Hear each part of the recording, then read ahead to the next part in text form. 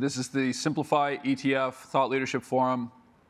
As we look at 2020 to 2021, which is our first year at Simplify, it, we couldn't even begin to address this without talking about memes and meme stocks. And I'm excited to bring my friend Carson Block, Lily Francus, and of course Kyla Scanlon, who's here with me, um, to discuss this phenomenon that it really feels like something that is possibly never happened before. Now, obviously, things like this have occurred. We have seen things in 2021 that are unprecedented, right? Ranging from whether it's GameStop to AMC to any number of things that have blown up various hedge funds that are otherwise thought of as responsible parties. I figured there was no group that would be better served to, to bring in here than these three. So, Carson, you are one of the world's best known short sellers. The you know, rigor of the work that you've done, starting with Chinese frauds, extending across to um, companies throughout markets, you have a really interesting perspective on the general idea of what a short looks like. Should anyone be surprised by what's happened with some of the short positions and the short squeezes that have occurred in 2020, or is this as unprecedented as it feels? Well, it's definitely, I mean, there are definitely precedents for um, short squeezes. And um, I mean, it, it, they go back much farther than this, but I think a good analog to what happened with GameStop um, is Volkswagen in 2008.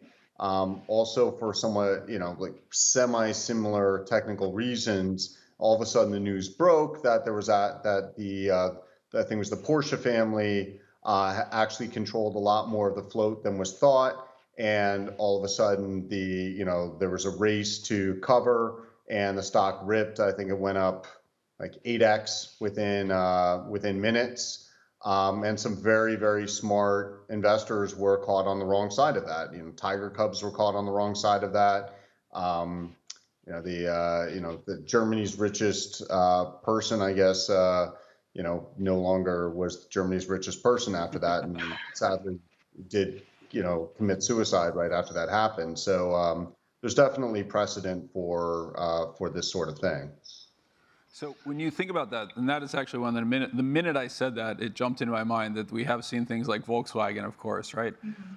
But in some ways, the damage was actually much more limited this time around, right? So that was a risk arb trade that was against a large corporation that had a number of positions. GameStop, which was kind of the first indication of this, and, you know, uh, Lily and I have off, talked offline about this. We've seen you know many of these things actually kick off kind of in the early stages out of the uh, election in 20 in 2020 it carried into 2021 where it got really, really crazy. Lily, do you think the role of options and retail participation in options played a unique role, distinct from some of the stuff we've seen, like like you know the Wirecards or the Volkswagens, where short squeezes have occurred before? Yeah, I mean, the biggest, I guess, role you could understand options playing here is non-recourseable leverage in the sense that, you know, they have a notional delta exposure to the underlying that's much greater than the amount that a retail investor would pay for. And I mean, I've had discussions with people, you know, I guess you could call them the shoeshine boys of the 2020s, where you see this ethos in retail investors where it's like, well, if I lose my money, whatever. And, you know, I also on the other side know multiple people who made a lot of money off GameStop. You know, we're talking in the millions or in the hundreds of thousands. So it's really it's different in a way because it gives them access to these products where their downside is clearly very limited and their upside is ostensibly infinite one of the things that jumps out at me is in many of these situations, like the language that a professional option trader would use, things like what is implied volatility, what is the level of skew, what is the, um, you know, where are you actually buying these things, that tended to get lost because you were dealing with a relatively unsophisticated platform or mm. um, interface in which those that information wasn't even available, right? So I mean, if I went on Robinhood mm-hmm. and I of course did this and set up an account so I could understand some of what's going on, like there's no information about what you're actually paying for these options, right? Yeah, I mean, most I would say most unsophisticated use of options essentially is a directional bet. You know, I think most actual option traders who specialize in it more look at it as a volatility tool to actually take an outlook on realized versus implied volatility. There is some limited use, I would say, of using it as a directional tool, but it's really unique on the retail side because UIs like Robinhood have made it very clear. It's like buy calls if you think it's going to go up, buy puts if you think it's going to go down. And what that's really done is, you know, it works when it works, and it's worked this past year a lot. It's also some people have had hard realities when they bought puts on GameStop at 350 and their got vaporized. So the dynamics around GameStop and AMC, et cetera, clearly was um, framed in the popular press as being tied to things like the Wall Street bets, our Wall Street bets on Reddit, and the spreading of these memes. And you know, we can all turn into TikTok and hear you know various takes from people who are convinced that XYZ is going to happen. Roaring Kitty, a name I think mm-hmm. most professional investors never thought they would actually say out loud. Um, you know, figured very prominently in this type of dynamic. And Kyla, you have played a role more on the good side in terms of spreading these memes I and trying so. to help. Yeah, I, I, certainly hope so too. But more on the good side in terms of trying to spread some education and poke fun at this. But when you look at the meme culture of Gen Z in particular, and to the millennials a little bit less, I would suggest. Do you think that this is actually a driver? Do you think that people are genuinely turning to TikTok for their investment advice? Um, yeah, I don't know if it's a good thing or a bad thing, but yeah, I do think that they are. I think that TikTok is just a really accessible platform for them to go to and to just consume information. And oftentimes, the level of authenticity that you have with the creators is a lot higher than like a news platform. So you're able to like log on. You're like, okay, I see this person every day. I know how they communicate, and you're able to con- like convey, or you're able to absorb the information the way that they're conveying it to you. So I do think that like helps, but um, you do have sort of like this distribution where you have a lot of uh, people who might be like shilling coins on one side of the distribution and it's sort of like pump and dump. And then on the other side of the distribution, you have hopefully like creators like myself where we're mo- more focused on the idea of education. Um, but I do think that social media in general has become a place where people are going for information ab- about the markets. And when they when they seek out this information, I mean, this is, this feels so foreign to me in so many ways. But it, it's and I think that's actually part of the problem that Wall Street at least the, the long-term participants are struggling with is like, are you serious? You turn to a 30-second, right. you know, TikTok for information about your, your investment future. Is it, is it that they trust the creators? Is it the irreverence associated with it? The cynicism about the traditional mm-hmm. channels? What, what, what do you think the, the gut driver is? I mean, I think it's really a perfect storm of all of that. So like there was with GameStop happening, like everybody was like, wow, we don't trust anybody. Like, and you still see that show up in the Wall Street Bets forums where it's like, oh my gosh, everybody's lying to us. Like it's this big Ponzi scheme. And so I think like TikTok and the creators on there, it's like, okay, this is just one person. I see them, I know how they interact. Whereas like institutions themselves, so like if you go invest with BlackRock, like you don't really see BlackRock. Like you don't see a person attached to that unless you have a financial advisor, but that's like a whole different level that Gen Z people just don't have access to because they don't have money. And so you don't have like these institutions really speaking to, you know, 17 to 27-ish years old because they don't have the money yet, that those people don't. Mm-hmm. Um, so institutions just ignore them. And so they have to find other avenues to learn, and that ends up being social media. And I think that, like, just the, with the creator economy in general, that people really are seeking out some sort of connection. And the past year with the pandemic has really highlighted that because everybody has missed out on, on that like human connection. So people are really seeking out like these. Um, individuals where they can learn from because they haven't either gotten that from institutions, don't trust institutions anymore, and are just finding different avenues to get the information that they want. So, Lily, you're a, a, you know, you have approached this market from a very academic standpoint, right? I mean, your background as a data mm-hmm. scientist brought you forward in terms of your awareness, and, and you and I talk an awful lot about, you know, my theories in terms of passive, and, and you've identified what you refer to as options dominance, which is effectively the idea that that large notional then requires hedging going in the opposite direction and can actually force market makers to do things, right, in a, in a market that has friction and low liquidity. When you think about this educational process that Kyla is highlighting, you brought up a really interesting point, which is, you know, you've got defined loss, right? The most you can lose on an option is X. Is that a pri- like is, is it effectively just a gambling dynamic? It's an, an attempt to change a life in a way that um, you know it's not going to kill me if I lose 500 bucks, or it's not going to kill me if I lose five thousand dollars, but if I make a million bucks, that really changes my life. Is that is is that a, dri- a big driver? Yeah, I mean, I think the biggest parallel would be like when you look at a business that's about to go insolvent. If you look at something, you know, like the Merton model, when you essentially view the equity as a call option on the firm assets, you know, you see this asymmetric upside versus downside, which is also why, you know, I'm sure as Carson could expound on, you know, perhaps the most dangerous time to be short a stock is right before it goes bankrupt. And basically, what happens is that many of these folks have savings, they have stimulus. I mean, you look last year and the savings rate in the US boomed at the same time as lockdowns happened. You know, online communities boomed because we were trying to socialize with people. And what that really, you know, brought is you have this camaraderie where you're losing money together, but at the same time, you know, you believe, as Kyla said, the system is rigged anyway. So it's really like you're trying to bet almost like a lotto ticket on getting to the next level of social strata. And you really do see this, especially on places like crypto Twitter. I mean, there's a huge degree of ostentatious wealth being shown. And what it really does, especially for younger folks who have less money and would gravitate more toward these super high yield, super high risk investments, you're essentially seeing it as a lotto ticket.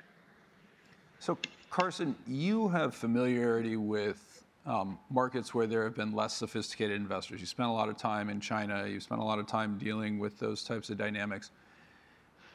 Is this behavior consistent with kind of what we, if I go back to 2015 or 2014, like the stories we heard where, well, the Chinese are just gamblers, right? You know, they, they want to gamble on stuff. Is this a reflection of that type of change in the US markets? Yeah, no, it, it's it's interesting because when Lily talked about lottery tickets, I mean that really resonated with me because when I first started doing this as an activist short seller in 2010, and these were total frauds from China. I mean, just the worst of the worst. And I would get so much vitriol directed at me, um, especially over email, and I would try to reason with these, and these were usually retail. Um, I would try to reason with them a little bit, like, hey, don't be mad at me, be mad at Chairman so and so who's lied to you and stolen your money. And I mean, look, predictably, that seldom worked. Even after, in some cases, after the companies were, uh, you know, were actually enfor- there was an enforcement action against the management and the companies for fraud. The same people would still come at me. And when I thought about it, I realized okay, this is what it. So I remembered my my first in, my job in investment banking in 1999 when I was at CIBC World Markets, and I was miserable every day. And there were a few days when I would go in, I'd stop at the coffee shop in the base of the rest in the base of the building, and I'd buy a lottery ticket because it was like 10 or 20 million. Mm-hmm. And then I would spend my free thought moments fantasizing about going in and quitting the next day. And that's really what I came to realize like a lot of people who are punting on Chinese stocks are doing. Like there's some hole in their mm-hmm. life and they're using, they're buying lottery tickets. And it was like I was taking those lottery tickets out of their hands, tearing them up in front of their faces, and just dropping them on the ground. And that's where I felt the vitriol came from. Um, going back to China, you ask about that. It's, it's when I first moved over there in 1998, right after graduating from university. I went over there to try to open up an equity research firm. And I came to realize that, I mean, and this wasn't for fraud reasons, but there was just nothing investable literally in the domestic markets in that time. And a big dynamic I felt was that the the policymakers wanted to keep the markets there hyper speculative because if there was this possibility that hey you go into that brokerage firm tomorrow and you guess right or whatever it can change your life that kept people out of the streets i mean that was my assessment mm-hmm. as a. 23 year old in 1998. So um, I do think that that is a common thread through all of this. So I mean, actually, sorry, just- go, no, go ahead, Lily, please.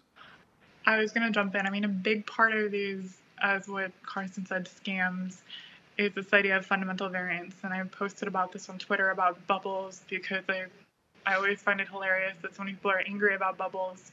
Very few people try to understand what's going on. but basically, fundamental variance or this idea of a better tomorrow where you see these firms that could be valued at zero or infinity and you see a lot of this of course in crypto currently is what really powers investor sentiment especially at the retail level. You know retail tends to be much more risk loving especially at the sectors of or demographics that invest heavily. And what happens is that the scams usually are the ones that promise the most I mean, that's usually what happens, and that's what attracts people because even if there are red flags, you know, usually they're pretty priced pretty low. You can start with pretty quick investments. You usually grow them over time and lead to that kind of emotional attachment Carson's talking about. And what happens is, you know, you might in the back of your mind know it's a scam, but it still might not be a scam and that's also what triggers you know when there is any news which seems to validate that this company is legit and it happens occasionally then you see this hyper growth in price as everybody piles in Well, and, But I, I would, but I would, I would push back on one thing there, which in microcap world, I think the kind of more seasoned microcap retail, like I think they get that these things are scams and they don't care. You know, like it's not, it, it almost doesn't matter that it's a scam to a lot of them. It, you know, especially if you don't, if you live in a world in which enforcement is pretty sporadic, which is the world we live in, then um, I think the more seasoned retail punters are in on the joke, whereas the, the you know the newer to the game ones might not be. So I I agree with 90% of what you said. It's just that little corollary there where I don't know that it matters if it's a scam if there's no enforcement. Yeah, I mean, those are the, I would say those are the investors, probably, I would put myself, you know, in that bucket who take advantage of momentum and are have pretty short hold times where they're essentially looking for that pump, which at that point you don't really care the fundamentals of the company, especially when there's sufficient liquidity. And it's essentially you are buying this on the bet that other people will pile in. well, and, and I think that's actually a really interesting link because uh, when, when I think about how people react to finding out that it is a fraud, right? So Carson, you, you brought this up, and the perception is you're tearing up their lottery tickets. Not that they bought a bad ticket or that it's somebody else's fault for lying to them, that you're effectively destroying their dream, right? What happens when they lose the money? Is it is, is there a learning process or is it well numbers didn't come up this week I'll try again next week?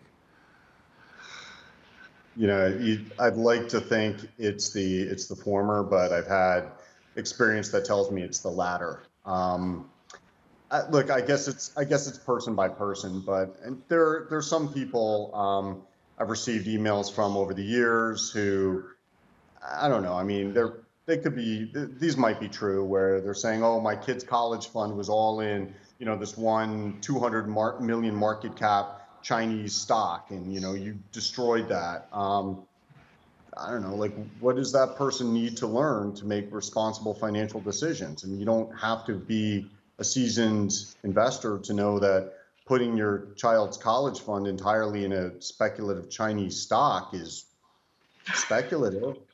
So I don't know. Your eloquence knows no bounds, Carson. I, I, I agree with that.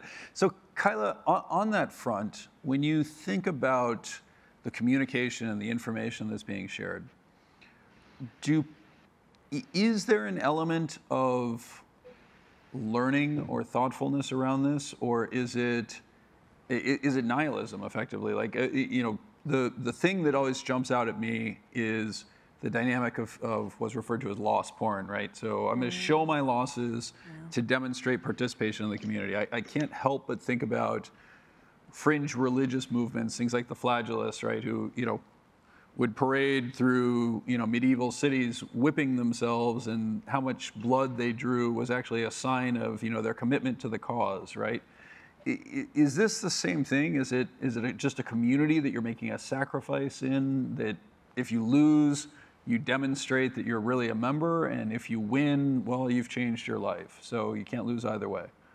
Um, maybe. I mean, I think like the dynamic that Wall Street Bets had at the beginning of GameStop was really interesting because it was sort of like this collective belief driving the value of an asset, which was just like the fundamental reason why GameStop sort of went up at like the very, very baseline level. Um, and it, was like even now you see with AMC, like there'll be some comments where it's like talk about AMC, like AMC squeeze, like AMC forever, and there's a certain level of loyalty that they have to that community and that stock, but it's not to the company which is really interesting. Like, yes, they'll, they'll, they'll, like talk about AMC, whatever, GameStop, but it's more so like we're in this together and we're doing this to like fight against the establishment. So I don't know from the like point of loss porn if that's like I think that's important because it's like we lose together if we do lose. But I think it's also people like trying to find that common thread of community because I think that's what's sort of been missing from society for a little bit. Like ever since the Industrial Revolution, we've been really individualistic. And so I think people are trying to find community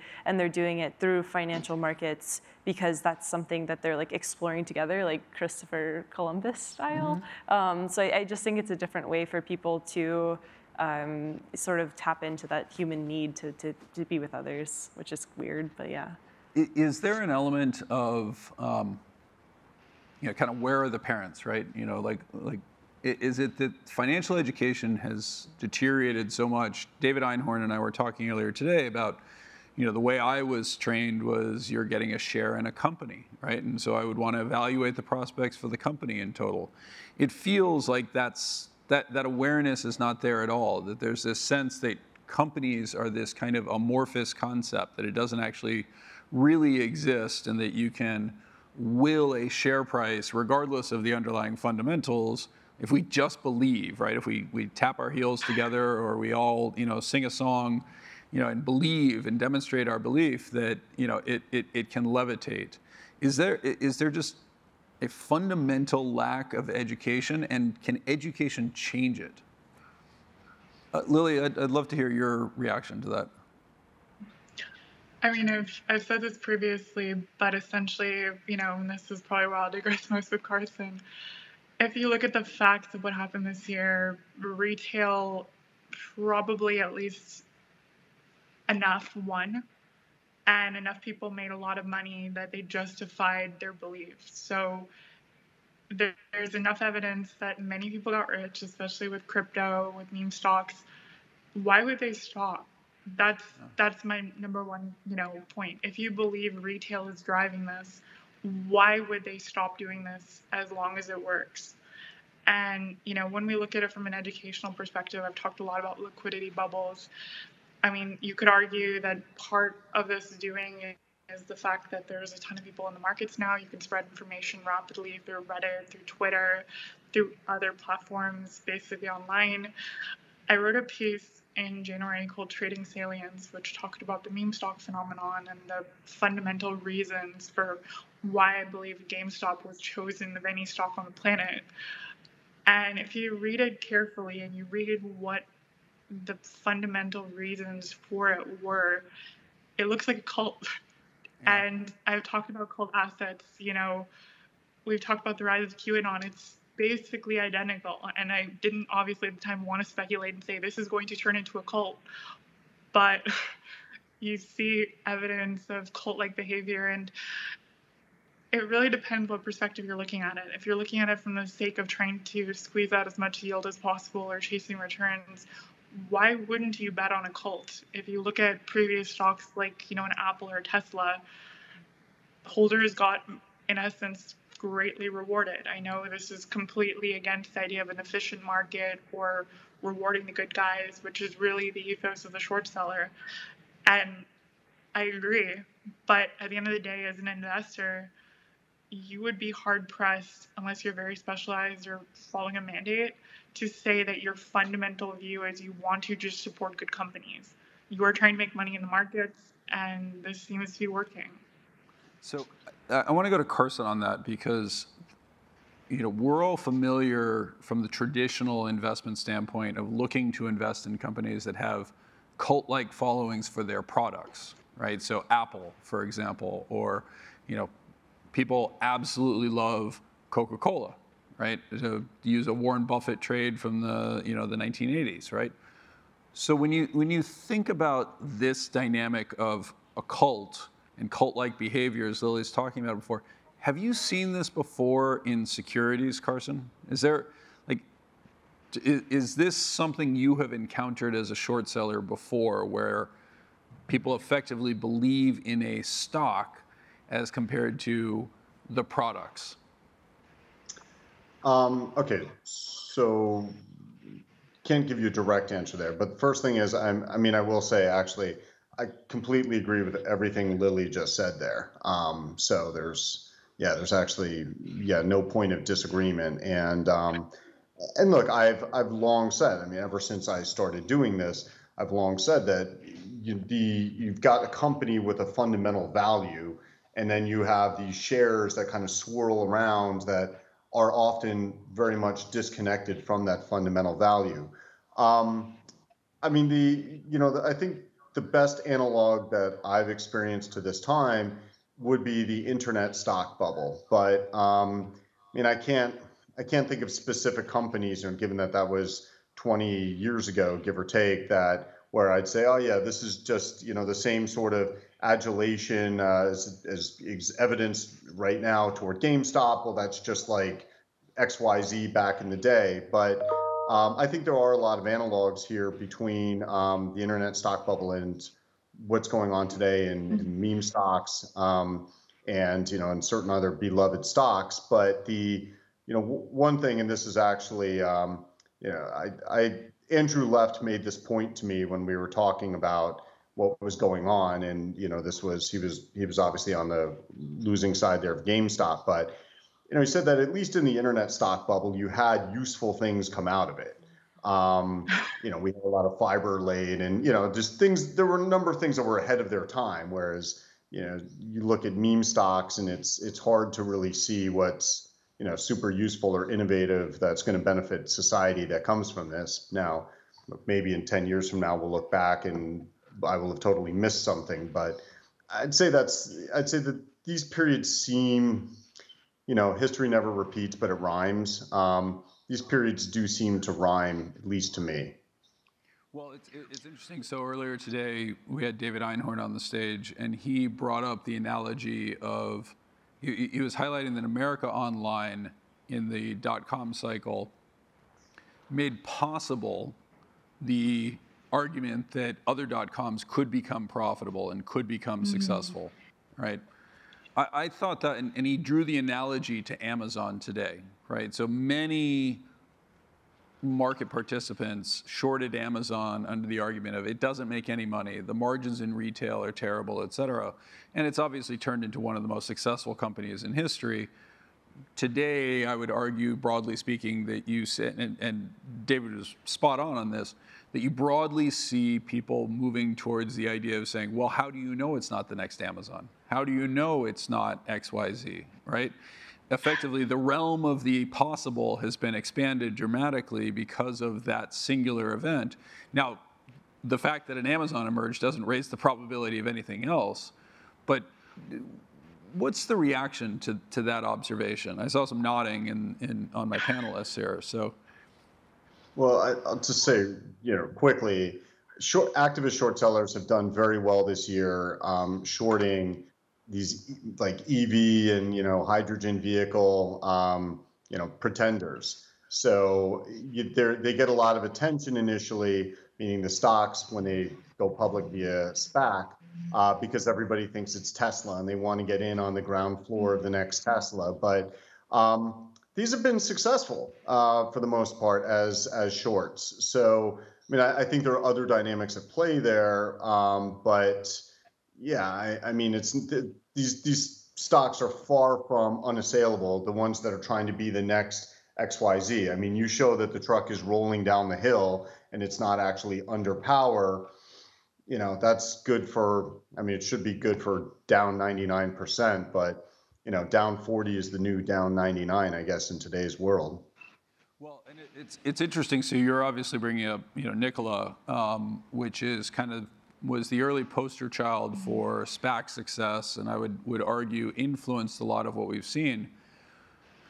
When I look at the holders of Nikola, and, and you know, Carson, you and I have talked about this extensively, front page holders include you know, the Norwegian sovereign wealth fund that effectively just went out and bought you know, crazy amounts of all sorts of EV companies because of their reliance on oil and a desire to ESG out their portfolio, right?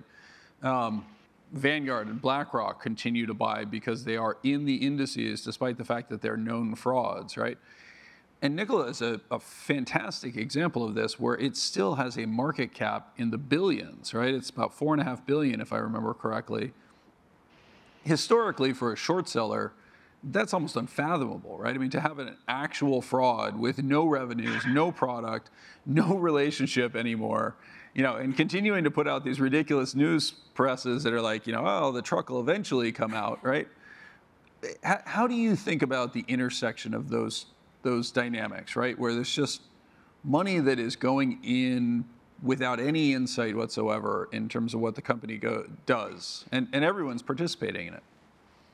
Uh, look, it's not just in those things. Um, I mean, we're we've been short. We no longer are a company in France where our REIT called Solutions 30, our research led to the uh, Big Four auditor failing to issue an audit opinion, and they said that we think there could be wrongdoing and there could be fraud. So the company dismissed the auditor, um, hired an auditor of last resort um, out of Luxembourg, and isn't even going to bother having the 2020 accounts audited. And they're out there giving guidance. And I mean, the thing's got like an 800, 900 million US market cap. I mean, it's all over the world. It's um, it's not just EVs. It, it really, I mean, just the value of evidently being public is probably you know north of 500 million dollars. I mean, eh, you know, the way I look at it. So it's it's depressing. I mean, as a short seller in some ways, but on the other hand, um, there's no shortage of potential of really bad bad companies out there. It's just there's so much apathy that I think that's the biggest problem that we face as short sellers is the apathy. Exactly the phrase that David used earlier today to describe it as well. This apathy that no one seems to care. Lily, you were going to say something. I was going to say that it's probably partly related to flows in a sense. You know, if yeah. you think about it, if I ask you this question, let's say you bought Nikola right now and you could buy a call option on it. I'm guessing it's still on NASDAQ or something. You're betting, let's say, $100 for thousands of dollars upside. Someone is still buying the underlying shares and supporting the structure. Similarly, if I gave you the thought experiment where maybe I said you have to buy Nikola and you can never sell it. I think the calculus would change a lot for a lot of people and you'd see market caps deflate substantially. Well, exactly to your point, there's two buyers there, Lily, right? Because you have, if I buy the call option, the market maker is, it's not their job in the options market to figure out whether it's a mm-hmm. fraud or not, right? So they're going to mechanically hedge it by buying shares. And at the same time, an index player is doing the same, right? I mean, they are buying in, in the case of uh, Vanguard or mm-hmm. others, they're, they're buying a million plus shares in the last quarter, right? If I look at the last reporting period. So you're talking millions of dollars that are being deployed, and there's not that many shorts. I mean, Nikola is a, is a great example of a company that is heavily, heavily shorted, which creates actually conditions of a potential short squeeze. Uh, Carson or Lily, could you guys talk a little bit about like why that is, what's actually going on there?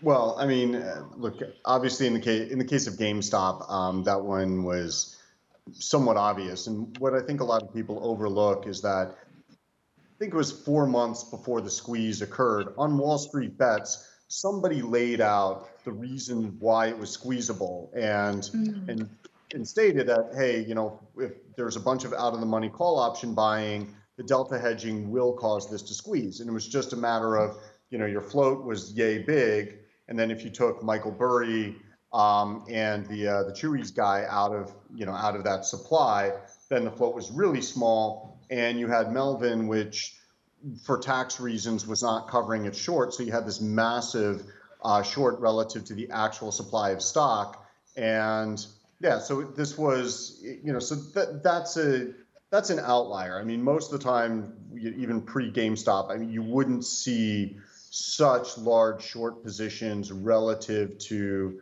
the float and even relative to the supply, the real supply of stock. Do you think, uh, uh I'm sorry to, to, interrupt before Lily goes, because I want to make sure that we, we come back to this, but on that point, do you think that the behavior of short sellers has now changed because of the experience at GameStop and other meme stocks? What short sellers? That's your answer. Yeah, yeah. Lily, I, I interrupted you. Yeah, I was going to talk about that. I mean, people wondering why, for instance, GameStop and AMC are still in the clouds. I mean, you see GameStop is what, 173 today? And I mean, I've talked about this from two respects. One, there is no short pressure on it at this point. You know, it's just going to stay there until long term sellers try to, you know, get out. And because this, the float is pretty small and a lot of it is retail held with what you'd call true believers, it will take a while, even if there is no more squeeze.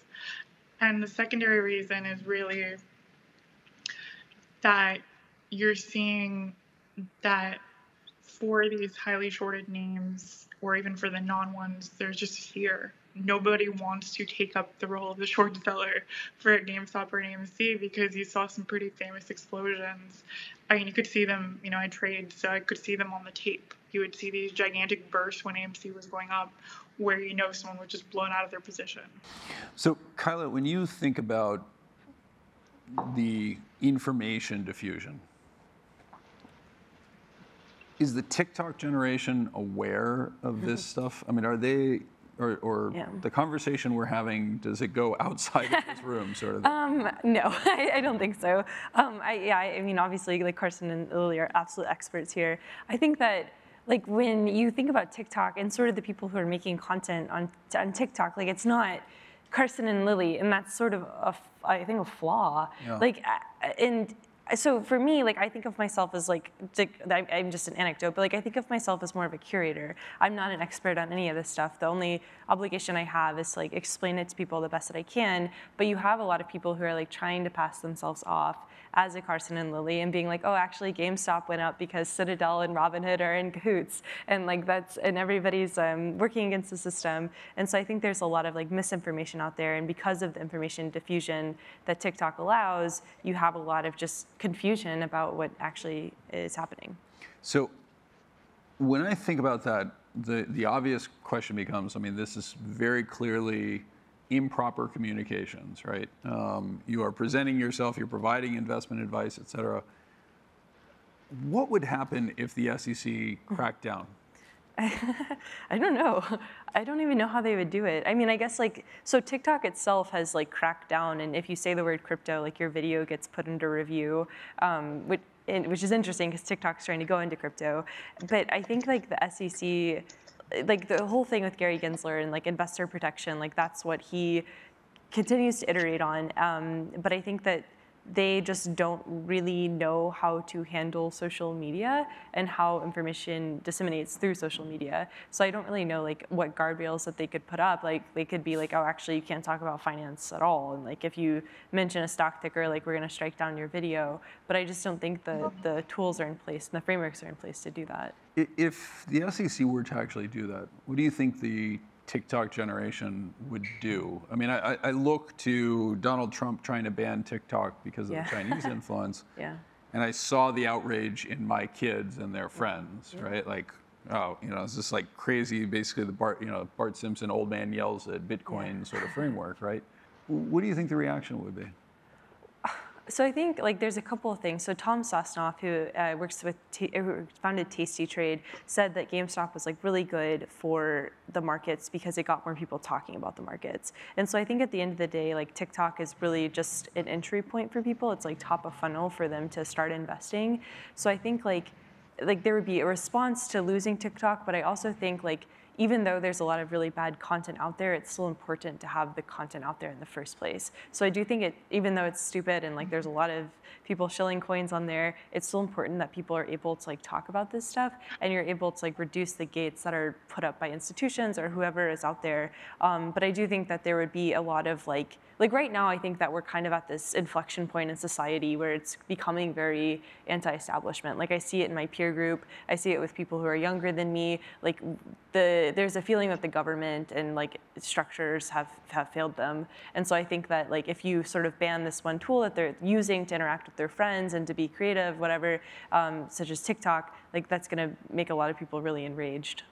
So it would effectively be viewed as Robinhood stopping trading in GameStop, right? It would be viewed very negatively. Yeah, and I, it would just be like, I mean, I don't know what people would do about it. Like, I don't think people are gonna like run into the streets and be like, give us TikTok back. Um, but I, I, do think that there would be a lot of um, confusion and like questioning of, of why.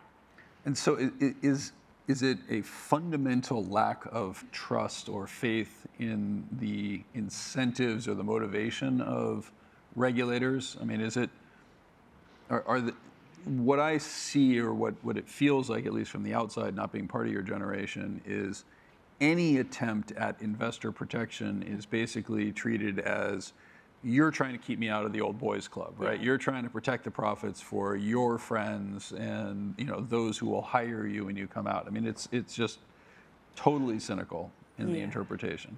Yeah, I mean, I, so I think like to the to the main point is like there's so much information out there, and we're not given any tools to like learn how to synthesize information. We're just like thrown into the fire, and so I think like everybody's really aware of like the dysfunctionality of the government, and like um, not not calling out the government yeah. right now, but like like like it, it's fundamentally like like with the debt ceiling, for example. So I think like um, people are just really aware of like the flaws in the system, and so when the SEC comes in and they're like, well, we just want to protect you, it's like, well, what have you been doing this whole time? Time? Like, where were you when X, Y, and Z happened? And well, like, why don't we have any money? Like, why can't I afford a house? And so I think it's like that kind of stuff where it feels like society has essentially like and I think you, you know you, we were talking about it earlier. Like you feel the same way being Gen X. Like you just feel like society wasn't built for you, and um, and like maybe that's like a silly framework to have, but I do think that that's sort of the underlying feeling that a lot of people um, around this age have. Yeah.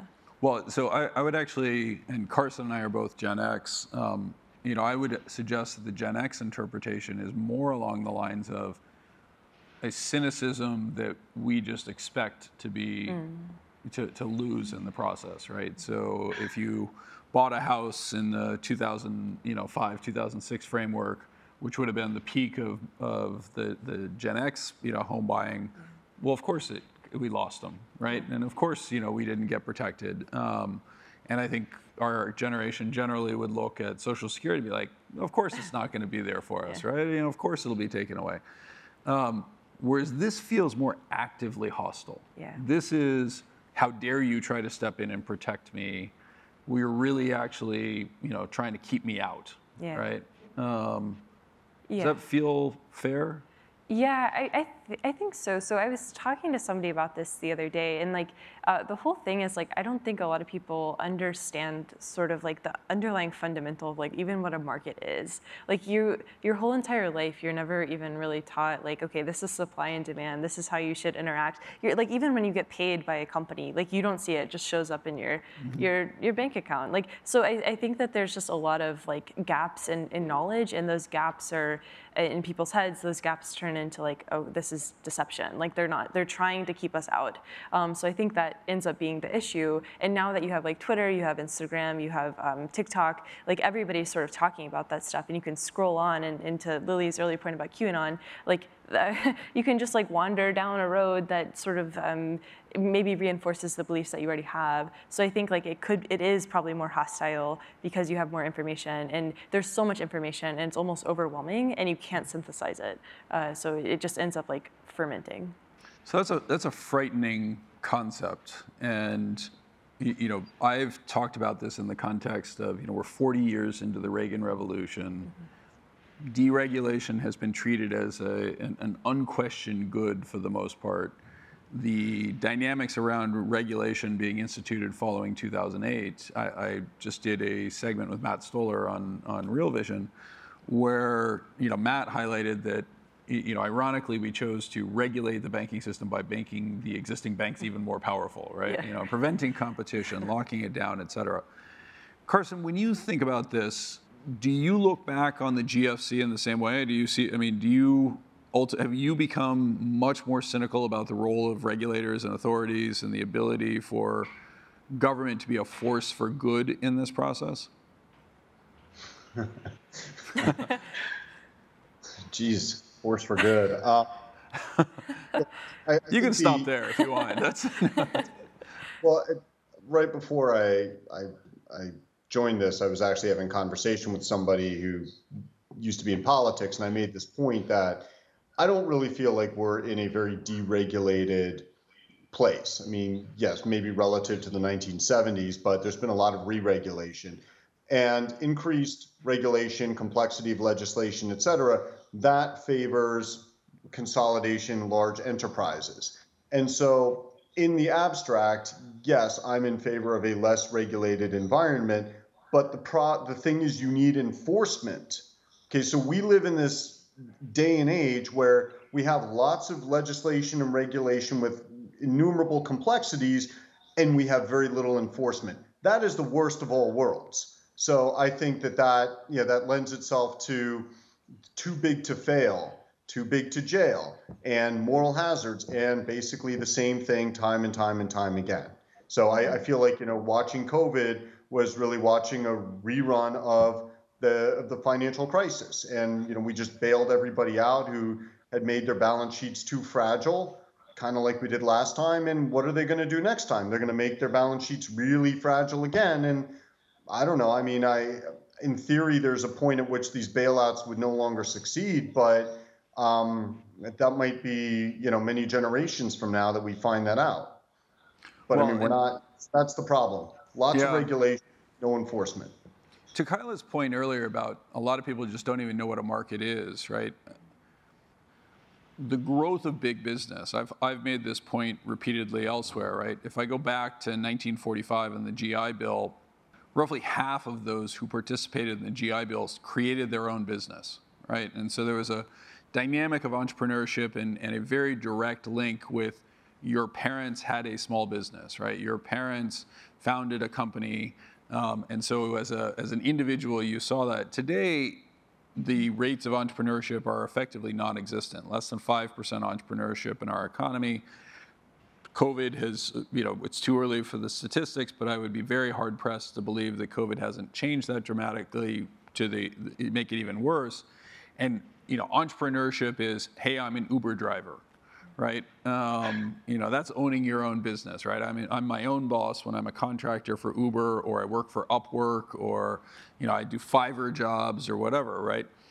Does that feel like part of the problem, effectively, that there is this separation and almost this magical nature of like, hey, money shows up in my account because I showed up at work or I checked in on online to you know my boss sort of thing? That's that's a pretty meta question. Um, I mean, certainly for people, you know, I now this will be really far afield, but I might not be understanding uh, your question. Um, I I left San Francisco some years ago, and I was really disheartened with the way that that city was governed, and I realized after going through this one experience that I think the people who hold political power there are people who've been in rent control apartments for a few decades and they've got two and three bedroom apartments. They rent out those other bedrooms at market rates and money basically falls into their lap. And I think that that disconnects you from reality. By the same token, mm-hmm. I've talked to billionaires who are totally disconnected from reality as well. So I think, and that's probably because nobody has any real career upside in telling them when they're like off the rails. So maybe different reasons uh, or different direct causes for the disconnection from reality. But yes, I think that if to the extent money is falling into your lap, it's pretty hard to understand the way the world actually does work and form and you know have well-founded opinions on policy.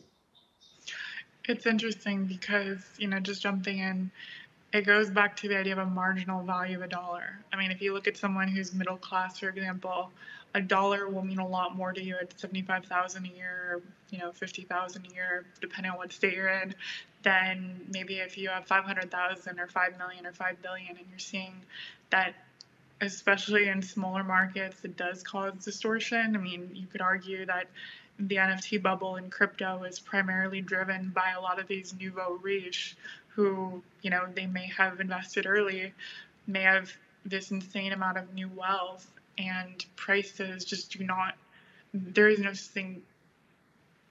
Ideally as you know a fundamental price there there's because at this point you don't really value your marginal dollar so what does it matter to you if you just put it all in you know a picture there's very definitely that dynamic. There's also only so much you can spend money in, in some of these areas on, right? So transmitting it back to fiat is often a challenge, and and mm-hmm. reinvesting in your community, going back to the flagellus or the lost porn dynamic, you know, is a way to theoretically make even more money, right? Um, if Kyla, if there was one thing, and we're going to wrap up on this, but if there was one thing that you would want to put into just an unbelievable kick-ass TikTok to help you know your peers and your generation understand how markets work and what you what, what you're thinking what, what what would be that topic like what what do you yeah, I don't know. I so I, have been thinking about this a lot because I'm like trying to think of a company idea and like I've been working on a company idea around this like financial education concept because like it's so interesting. I feel like there's so many like financial companies out there, but nobody's been able to like really solve financial education, and there's like no foundational layer. Um, and so I think it really like might stem from like this is how a market works. Like this is supply and demand.